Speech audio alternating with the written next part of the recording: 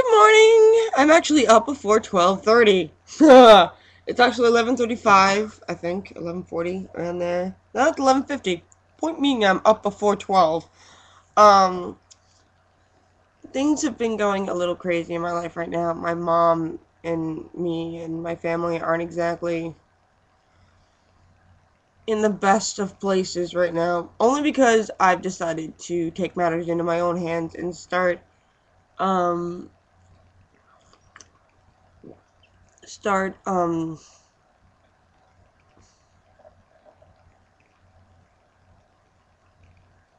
sorry taking charge of my life. I was trying to think of the word and uh my mom has been taking care of me my whole life. I mean i'm 25 i think at some point i have to start taking care of myself you know?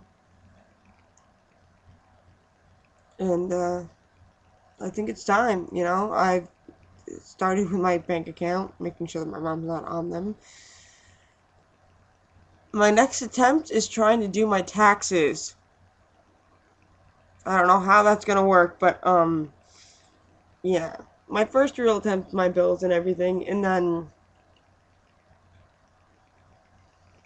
a whole bunch of shit. I don't know.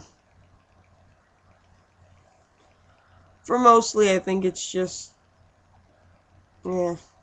I've just been so stressed out with everything that's going on in my life. And I, I think it's due for my hair's been stressing me out. So I think I'm going to get a haircut today. And I'm going to be seeing Gara and uh, just maybe seeing a girlfriend today will take my mind off the fact that I'm so stressed the fuck out. And, uh,